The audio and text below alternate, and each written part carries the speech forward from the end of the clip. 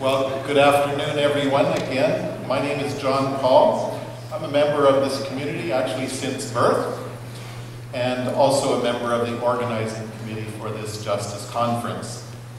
So this morning, we heard our local voices talking about historical and present injustices in the First Nations community, as well as in the Indo-Canadian community. In this context, we learned that human beings created in the image of God are designed for the purpose of walking in harmony with each other and with their Creator. So this afternoon we are so pleased and honored to welcome a panel of persons who are involved with the questions of homelessness and residential stability in our own community. And in turn, I would like to ask each one of you to tell us briefly about yourself and your organization and your involvement with homelessness. Yes, I'm uh, Lee Hollaar. I uh, sit on the Board of Citizens for Public Justice, which is an organization which is born in the cradle of the Christian Reformed Church with a lot of other social organizations. Uh, like I said, it just had its 50th anniversary, and I sit on the board of that. And uh for me, it's been a pleasure to be here because this is a conversation that deepens our thoughts about justice. And CPJ was one of those organizations which began, which was committed to seek uh, human flourishing. And uh, it envisions a world in which individuals, communities, and social institutions, and churches, and governments um, are aware of a hurting world, and we want to advance the call promote uh, public justice in Canada by shaping key policy. It's an organization based in uh, Ottawa, but it used to have offices here in BC. It uh, sets the national policy, but it's also involved in uh, setting policies also on, uh, on housing, public housing, on income distribution, dealing with poverty, all related and integrated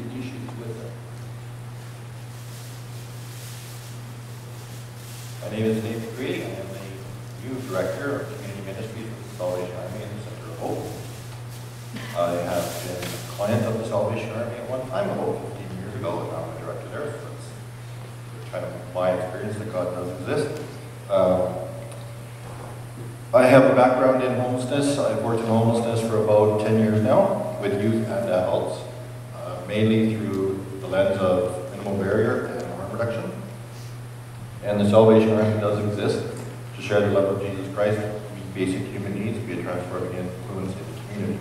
We do that through a lot of different programs. We have counseling, shelter, supported independent living, meal center, outreach, psych nurse, LPN. There's, there's a lot of different things happening at the center, so that's what we do. Hello, everybody. My name is Barbara. Um, I worked at, at, Mission Mental Health for about 30 years, and uh, I'm actually retired, sort of, uh, and working right now with uh, an outreach population, generally people who are homeless, uh, in, at Abbotsford Mental Health. And uh, so, you know, at the moment I'm looking for housing for about five people. Um, so basically, uh, yeah, a lot of the people that we deal with have reached the point of um, addictions where they are out of the house. And at that point, they probably need some help. Thanks. Good afternoon. My name is Kathy Doerksen, and I'm representing Abbotsford Community Services.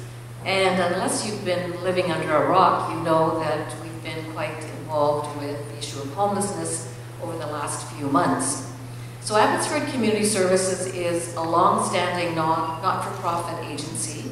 We're not faith-based, but many of our um, employees are, are have faith in their lives. Um, and so we have about 80 different programs that are funded by the provincial government, by the federal government, uh, lots of fundraising and, and uh, foundations. We provide services like food bank, um, services for seniors, for kids, victim services, mental health, addictions. So it's a wide range of services. Um, we recently um, became involved with homelessness um, and, and wanting to provide shelter for 20 men who are homeless or at risk of homelessness and have multiple barriers to housing, like addictions or mental health. Um, so that's, that's really where um, my interest has been in the last few months. Now, I've recently retired from ACS, but they haven't let me leave, um, and I've been working on the homelessness issue for some time. Um, in my private life, I am a member of Emmanuel Mennonite Church and have had many leadership positions and currently am a deacon there. And we're very much involved with the extreme weather shelter, which some of you may know about. It's, it's happens once the temperature hits freezing, and different churches take turns providing services. Um, and we're also work together with the Salvation Army who take the first sort of load, and then um, the churches will take up to, you know, up, we can take up to 20 people. So my, my you know, my um, involvement with homelessness has been both professional and personal. My name is Bob Burkinshaw. I'm a member of this church. I'm a volunteer at Joshua House. Um, started just volunteering in the homes, mentoring and Bible studies, and now I'm chairman of the board. Uh, Joshua House works with is a Christian organization working with men in recovery. Uh, we know that addictions and homelessness are not the same thing, but we know there's a lot of connections between them. Um, Joshua House's approach is abstinence-based, a 12-step program. We have three homes. Until this month, we had 25, capacity for 25 in the three homes. We also had a farm, which you, you could read in the news, we gained uh, zoning for, then lost through lease issues. Um, that would have added 20 more beds, but out of that, um, we had an offer of a larger home to rent, so we've just upgraded from one, this, our smallest home, to a, a, larger one, so we now have 30 beds as of this coming week. Um, three, three stages, entry, middle, and then a senior for those who want to stay. They're, they're unsure of housing afterwards. They're wanting to gain a foot in schooling or working, and so now we have 10 beds for them in that senior stage after the programs. I'm Ward Draper, Executive Director and founder of uh, Five and Two Ministries. Uh, we do uh, work with the homeless quite a bit. It is a significant portion of the work we do. We provide services six days a week in Abbotsford uh, for outreach and support services. Our primary focus is people keep people alive until we have final long-term solutions like we lost with ACS. Um, we currently, the type of work we do is from our service range has been from clipping toenails to uh, helping re uh, rewrite policy and law that uh, deal with poverty and addiction issues. Uh, we also do things like uh, harm reduction services and provide needle exchange for persons living in addiction, uh, among many other things. And we also operate a coffee night once a week in Langley as well as some other miscellaneous things. Well, thank you very much, and we want to welcome all of you each of you. As, as Kathy alluded to, recent events in Abbotsford has certainly drawn increased attention to our homeless population. I guess it didn't start just recently. Um, but decisions by our community, including our faith community, either to get involved or to not get involved affects each one of us in our community. So in, the faith community in particular, you know, we hear so many things. We hear so many things in the news and in the media and on blogs, and um, so we we want to do more. So the question then is for each of you, in addressing the needs for, or in addressing needs for food and shelter, how else can we foster dignity and respect for all members of the community, including our homeless? Well, I think the simplest response, especially coming from the church end of things, the easiest and most practical, immediate response that we can give is take these buildings that we're sitting in today and open your front door and just turn it into a coffee shop. Make it a community center and just welcome whoever's around and start from there. And let that community, wherever you may lie, dictate your next steps. So the first and most immediate practical response is turning this into an actual community center around the clock. That goes for every building in this town that claims Christ.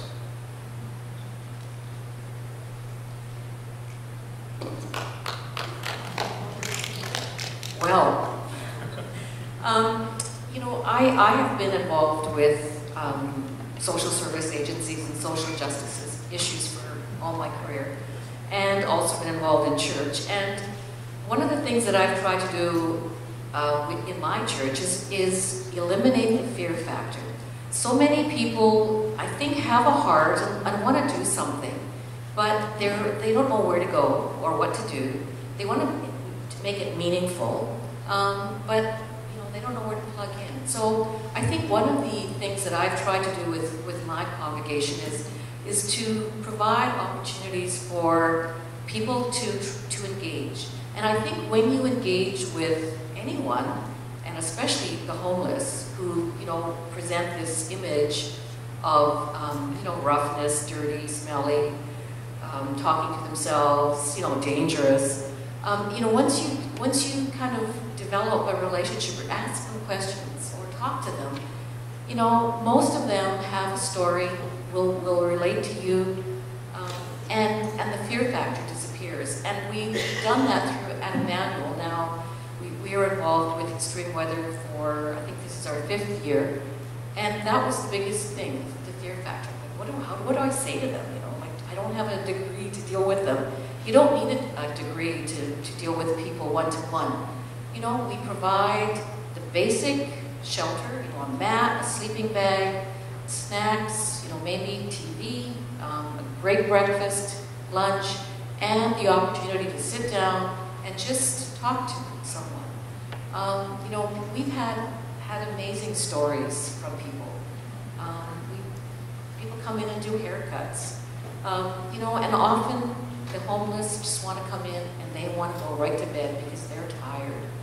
Um, so that's what I've tried to do um, within um, my congregation is just to, to eliminate the fear factor, provide opportunities for people to interact.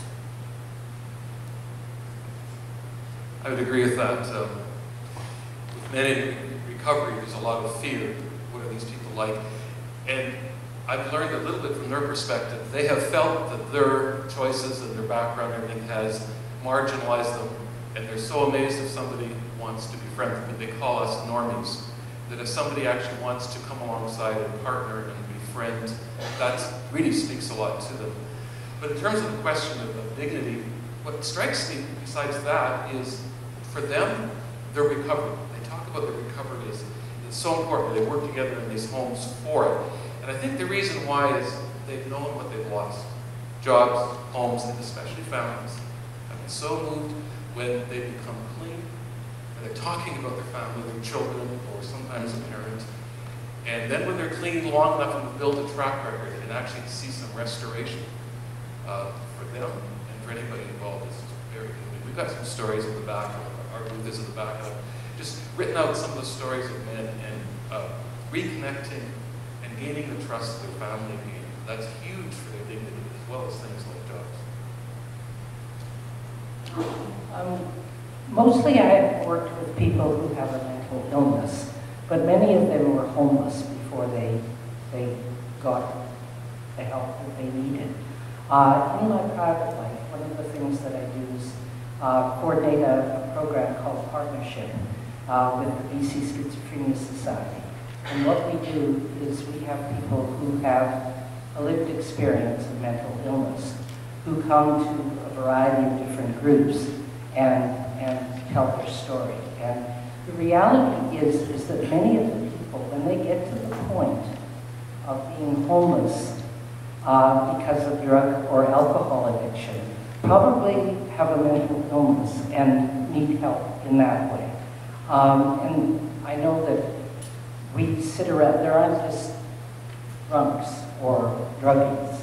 I mean, they're, they're using that stuff because the alternative hurts too bad. And so um, I think that, that um, again, somebody said something about fear, okay? And when you hear people's stories, you realize there is nothing to fear. And if their, if their basic need, needs are met, you don't have to worry about criminality as well. So those kinds of things tend to go away. So I guess for myself, looking at this question around the dignity and respect, there's a couple of things have already been said. The relationship building is very important.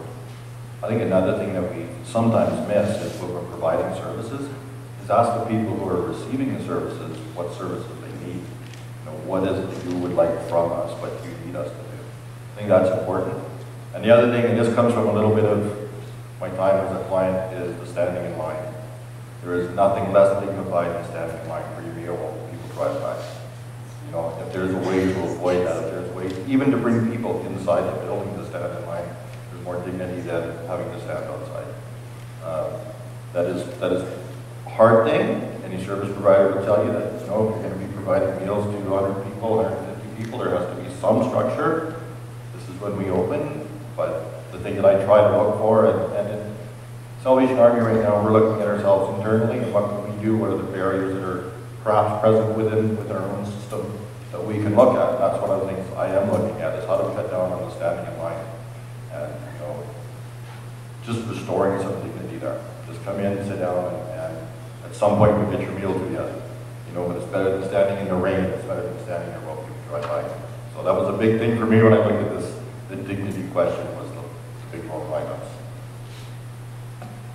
I represent an organization which is, as I said, located in Ottawa. It's a national organization.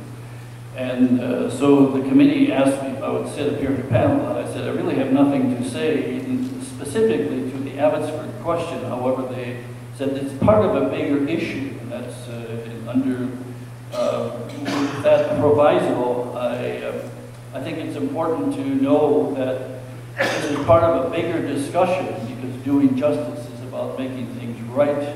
And as we talk about uh, advancing in society through local, active, fearless love for others, as we have heard about. And um, to be part of a faith-based organization which is trying to shape public policy where you deal with homelessness, where you deal with poverty, you deal with uh, alienation, marginalization. And as we heard some of the speakers say, um, and CPJ really, the Citizens for Public Justice, advocates that we have to, we, we applaud those issues like five and two and the others who are sitting up here who do things immediately, who provide, who provide for people. And as we have the speaker say, we got to do something.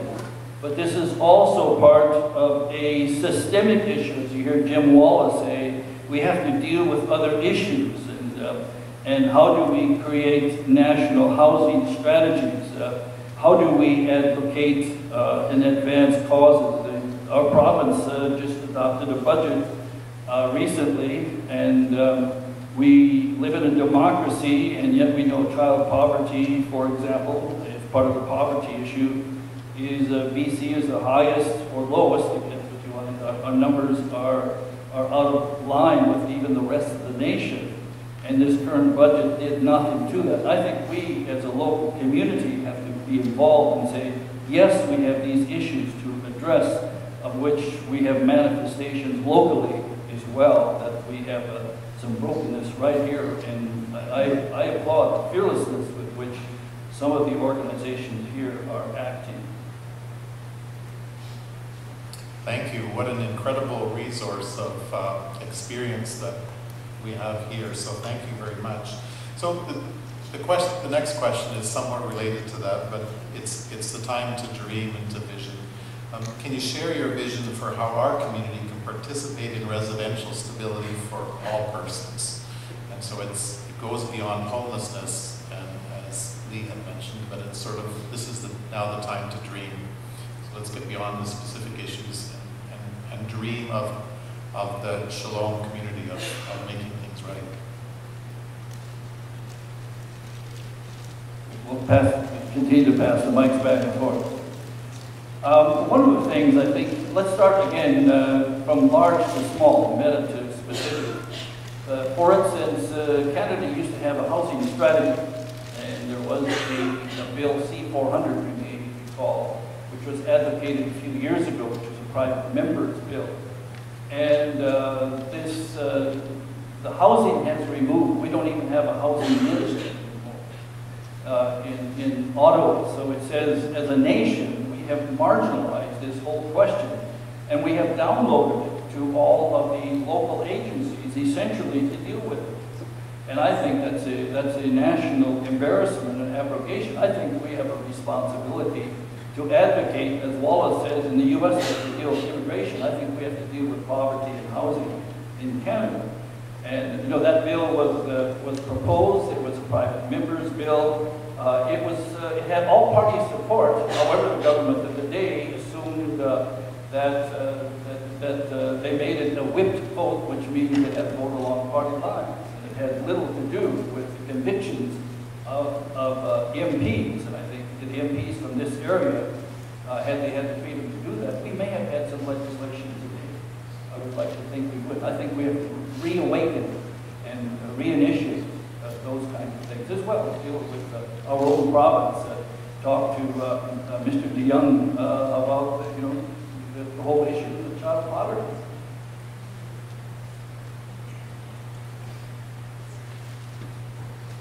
So looking at this, I guess, for myself, what I would like to see, if it's my sort of dream world thing, I would like to see a lot more frontline services.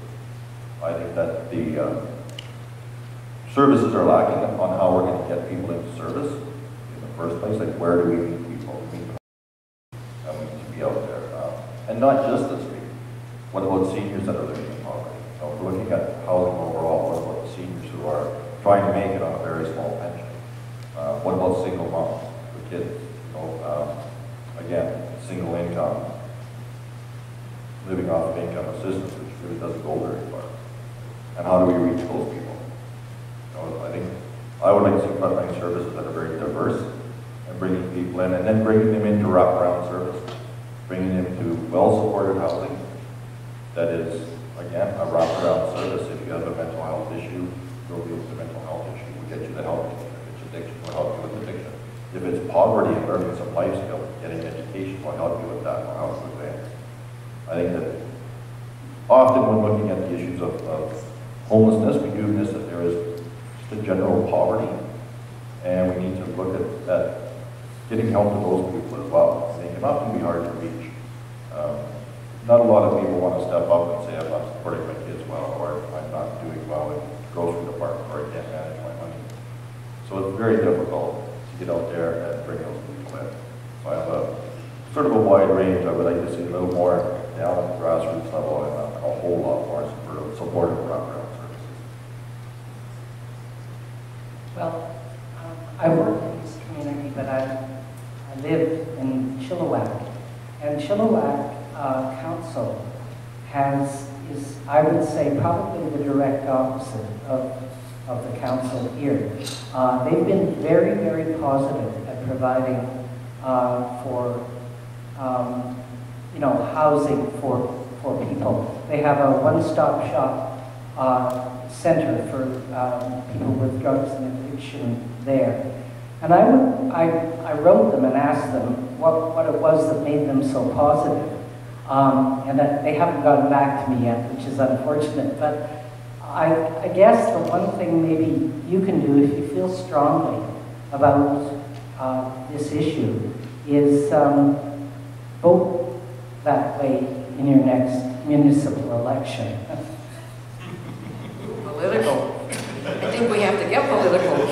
Um, you know, I think we need leaders. We need leadership. We need fearless leadership. Um, I agree with, you know, my colleagues over here. You know, we need a national strategy. We need a provincial strategy instead of, you know, the, the, the government, federal government pointing that way and provincial government pointing that way. You know, um, because I think a lot of people know what, what the answers could be.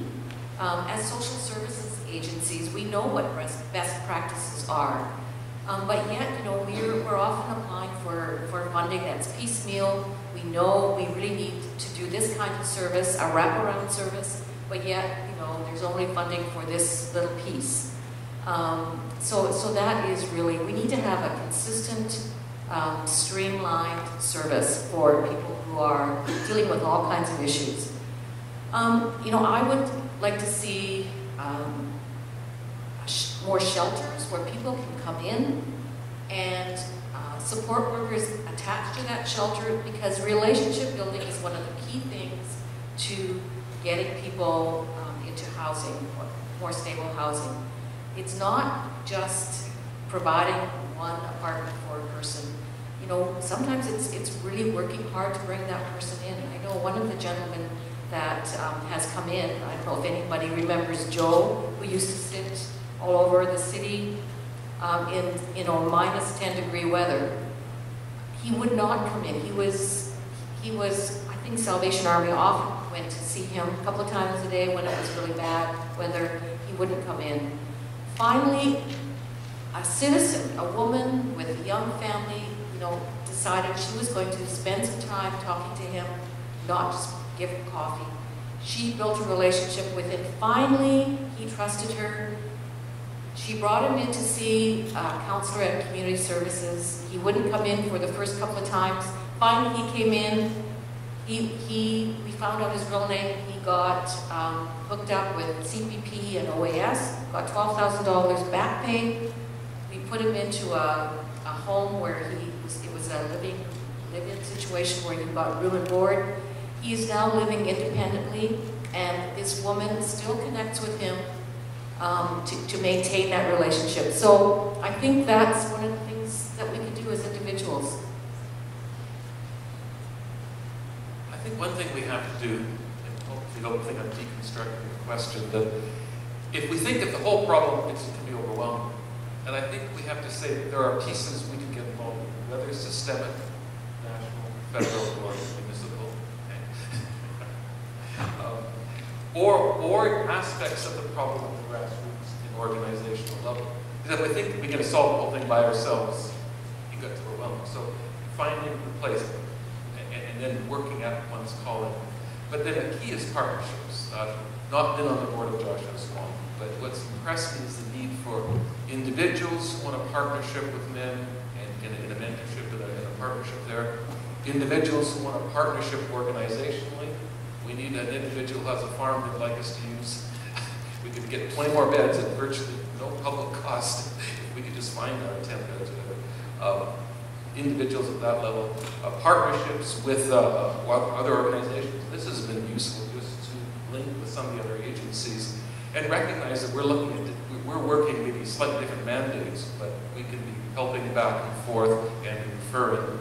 Uh, partnerships with churches, churches that can come alongside and, and take some aspect of the work along. The city, um, you know, it was very slow. It was two and a half years getting the farm rezoned. There's no ill will stuff just puckered in the staff and got shuffled back and forth, back and forth, until Angie, the executive director, and I made an appointment. And we sat with the people, called in our senior manager, who I happen to know from years ago, I taught him.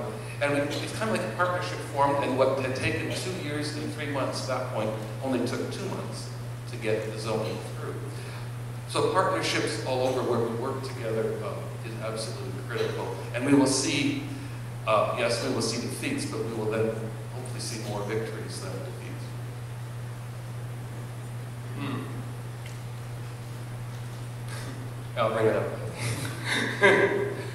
no, you know, sitting here, I mean, there's so much validity in uh, the commentary and the statements made for ideal, for the for, for ideas for moving forward to address housing strategies or community development strategies or whatever it may be. Uh, but for me, when I, when I think about these issues, uh, any related issues to marginalized groups, uh, you know, disconnection of, you know, people, all those kind of, all the social issues that we have that are growing exponentially. For me, the one thing that I will probably, well, I'm going to definitely die ranting on this over and over again is that, again, like I said at the beginning, this space here and other spaces in our community and I'm not saying that this one particularly is, but we do know that it is the, the norm, is that churches have turned into social clubs and spiritual masturbation centers. They are becoming entertainment centers and not spiritual hospitals, bringing the restoration that our communities need and our neighbors need.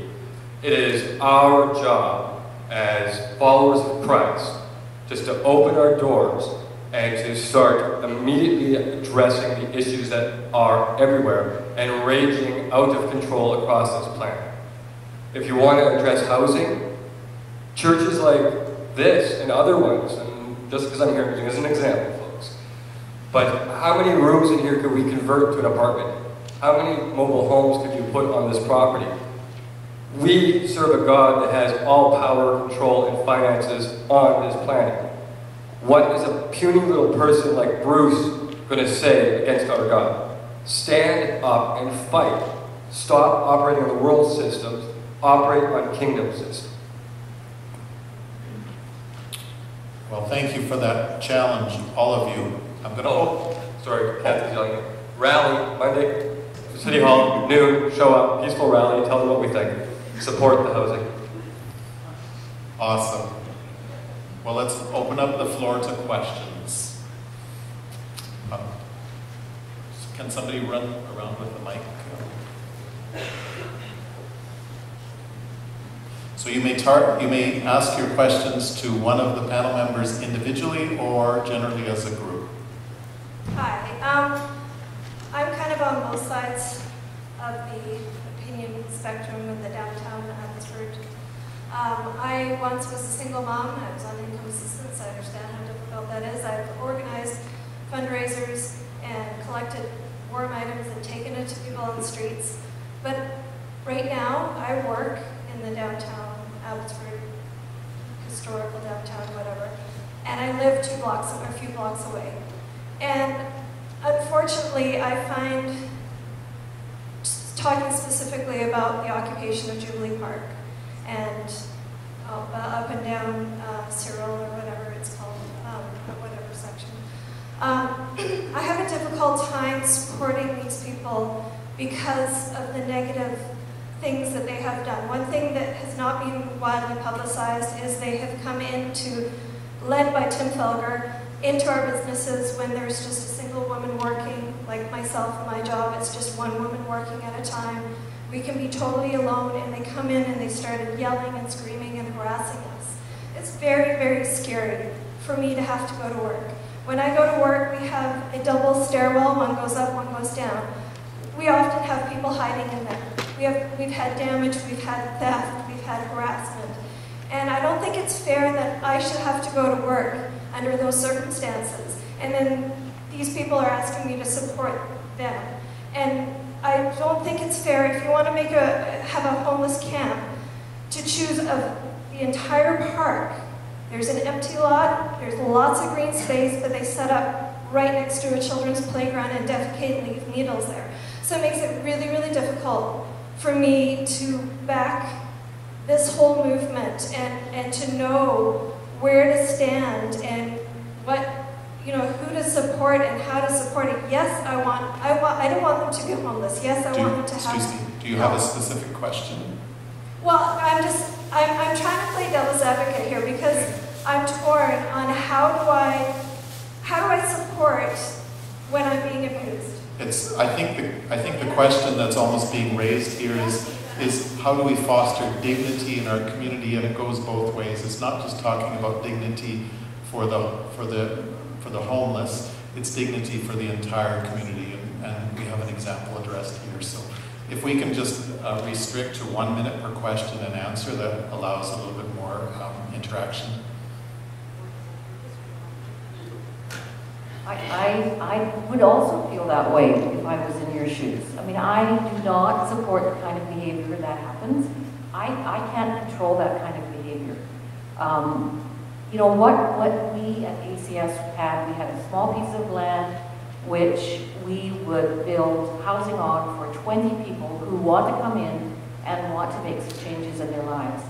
You know, I think that, um, I mean, one of the things that we would support with with those 20 people in, in housing would be, there would be people who would work with them. I mean, they would be under sort of 24-7 supervision, which is not what's happening now.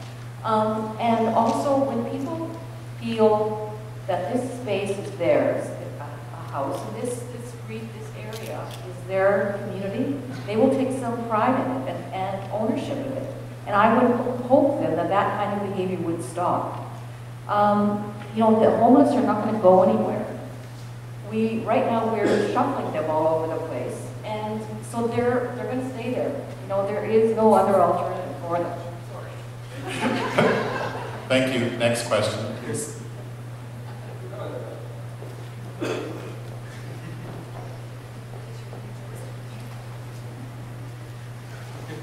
If there's time, we can come back to it later, but um, let's try I to. really want to follow on the theme of what the person over here just spoke about, because I think it's important, and I don't think we've unpacked a really important piece of what she was trying to get at.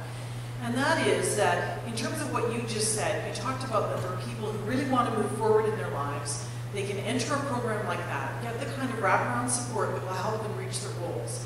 That's really, really valuable. My agency is also working on that for people leaving prison who are dealing with homelessness, addictions, and mental health issues.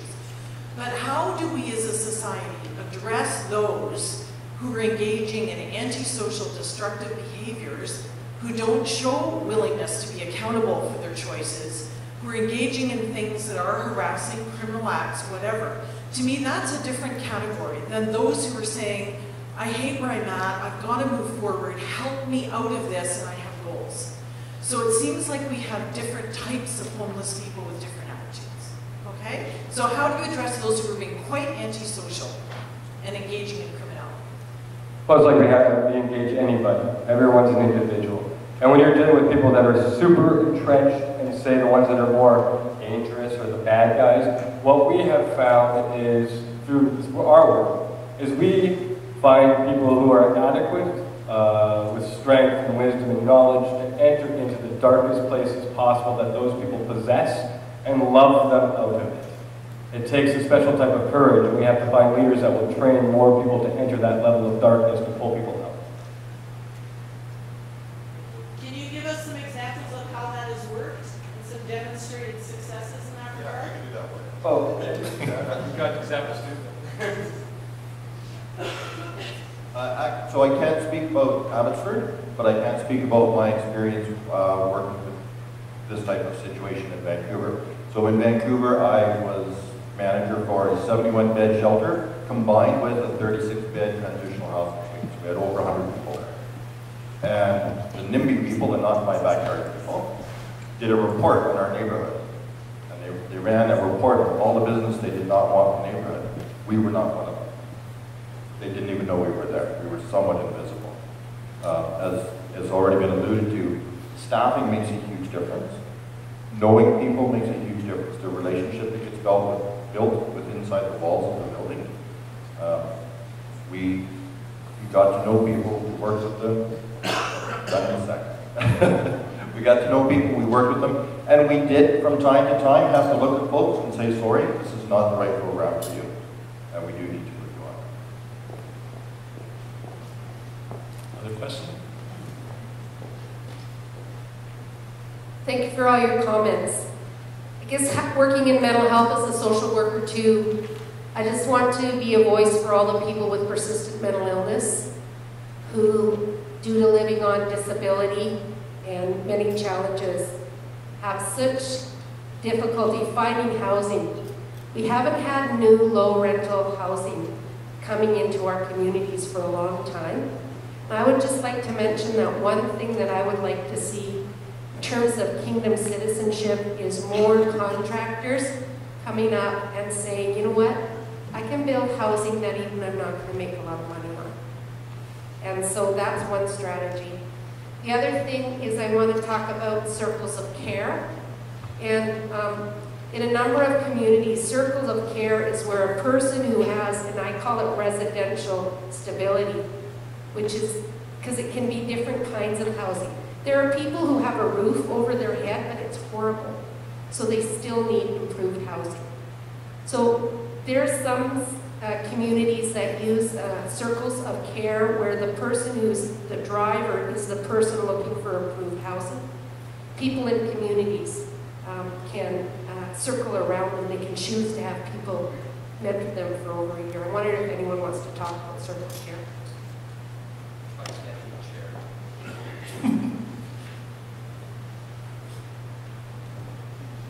Somebody want to address? uh, So you're, are you asking about, anyone wants to address the, the concept of circle of care? I mean, I think it's a great concept. Um, and that is one, like, I mean, Ward that, you know, get, building a relationship with even the most hardcore individuals and trying to sort of unpeel some of the layers that create that hostility and, and awful behavior. Um, I think building a relationship is critical. But, you know, we, if we, most governments or social service agencies don't fund that kind of intensive um, circle of care work, which, you know, is really where it's at. Um, so we need possibly the, the community to step in and do that. But I think the communities are all afraid to do that. Yeah, fear is great. Uh, well, I mean, a great example too. I mean, one of my one of our most recent successes, I think, of of moving a person, the worst of the worst, that say Abbotsford has. Uh, what was it? Probably about two months ago, maybe less. A good example of that is with Jesse. We were rehab with our needle exchange stuff that you know a lot of the churches, of course, have difficulty with us doing. One of our most badass and street trash drug addicts, who most people on the street are scared of, because he's going to beat the crap out of them, out, of them for something or other. Uh, through our engagement by entering his darkest places, things he's most ashamed about and embarrassed about, through engagement with the needle exchange, so getting clean equipment and stuff like to, to him, provided an opportunity to see that humanity growing more in him, because he stopped Jesse, threw, like, threw his arms up in the middle of the road, stopped Jesse in the middle of the road, and then just started crying in Jesse's arms about his life. So we need individuals who can walk into that darkness, and we can train them how to get there and to utilize the tools at, our, at our disposal to make those connections. Not everyone's called to that. I get that, but we are called to do something.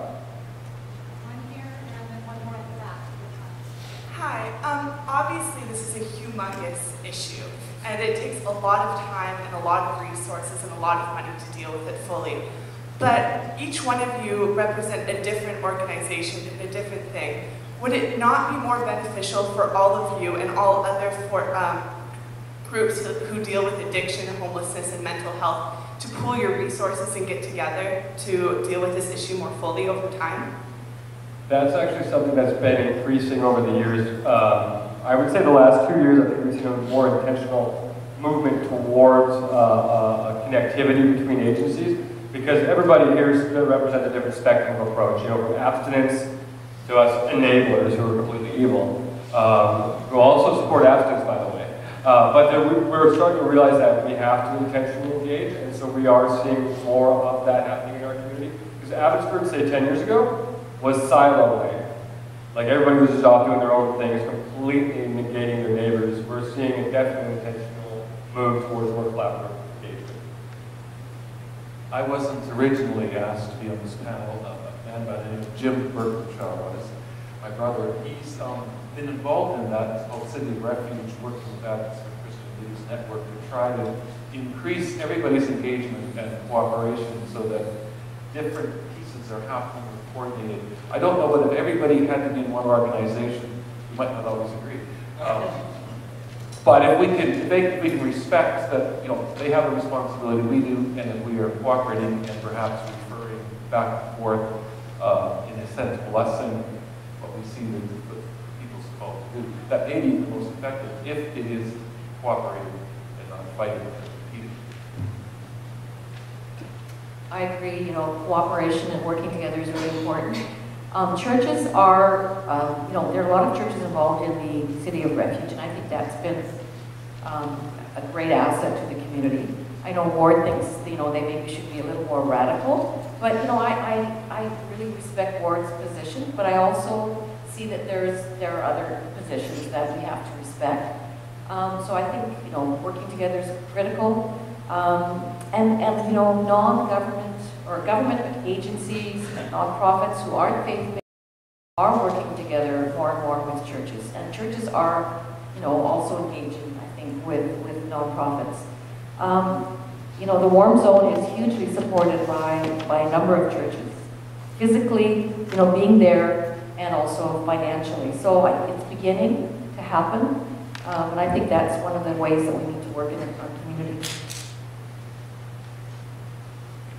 The question you raised is a good one. It's a big one, and I think that's why we need comprehensive, and uh, that's why uh, the need for a housing strategy that encourages the various partners to, to work together in ways that they can, and to be, and, and there are advantages for doing so, and are incentives for doing so, whether it's through charitable, you know, charitable tax receiving, or government grants, or shared resources. It's an awful load for anyone. I feel sorry for Abbotsford if it has to do with this issue all by itself, without benefit from the province or without benefit from the federal government. And uh, I, I know it's, uh, uh, just, just anecdotally, I want to share, I got a call just a couple days ago, somebody who knows I live here near Abbotsford, they're very much aware how, how could this vote have taken place in the Bible Belt where people should be driven by the call for compassion. Thank you very much. One more? yes, one more question. So certainly we know that, um, like any population, homeless people are, it's not a homogeneous population. But I think that if somebody were to listen to this conversation, they might conclude that the only people who are impacted by homelessness, in this town at least, are men. And I'm wondering if there's something systemically negligent going on in that. Um, so I'm hoping that somebody can speak to the unique experiences of women who are homeless or marginally housed and how those issues are being addressed, not just in a afterthought sort of way, but really as a, as a forefront issue on the issue of homelessness. So I can't, I can't speak in depth about that for Salvation Army right now, but what I can say is over the last couple of weeks, that we've, as we've been looking internally, we have started to address specifically uh, the needs of women in the community and the marginalized women of our community. We're not exactly sure what that's going to look like yet, but we, we have started a women's ministry. I will say that that is one of the things that we've started to push forward rather quickly at the Center of Hope. I know there are a couple of places in Abbotsford where uh, there are, it is safe, affordable housing for women, I think. Christine Lamb, resident, and uh, the Firth resident, both deal with women. So they have been left out. Uh, Yeah, I was going to mention, you know, that Christine Lamb, as well as the Firth Residence, which is run by Elizabeth Fry Society, um, Penny's Place, which is run by the Women's Resource Society. So there are a number of um, supportive housing uh, units for women. And, you know, funnily enough, those have not attracted the kind of um, criticism um, in our community when they were when they were built. They kind of went under the radar because women and kids, you know, it's hard to to knock them, right?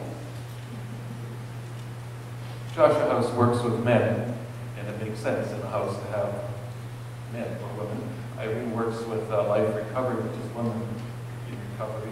There's obviously a big need there, two houses. And the problems are so interconnected. Um, I've had the, most thanks from somebody about Joshua's ministry from the wife of one of them, who she, in a sense, she and the kids got her back. So, I mean, but that's, you know, so it is interconnected back and forth. Each organization has to work with what, who it can, and recognizing that's part of the larger picture as well. Yeah, there's just uh, not enough anywhere. Simply put, I mean, we need more women's stuff, we need more men's stuff, we need more youth stuff. There's lots of problems, we just have to get creative and just get it done. Well, thank you for your awesome questions, and thank you, everybody, for your enthusiasm on this topic. It's a real topic. I think, you know, to, to walk away from this, I go, well, um, each, each person on the street, each person that we meet has a story, and, and let's not be afraid to engage in that story and see where that takes us. So, One quick thing, if you have any more questions, I got cards, let's go for coffee, just give me a call. All right? so thank you, thank you very, very much. We want to thank each member on the panel. We're just uh, are very honored that you would come and have this uh, conversation and dialogue with us. And on behalf of the committee, we'd like to present you with a small token of our appreciation and also to let you know that a, a private member of the community has uh, uh offered to make a $25 donation to each of your agencies as a token of appreciation as well. So thank you. Thank you for being here and honoring us with you.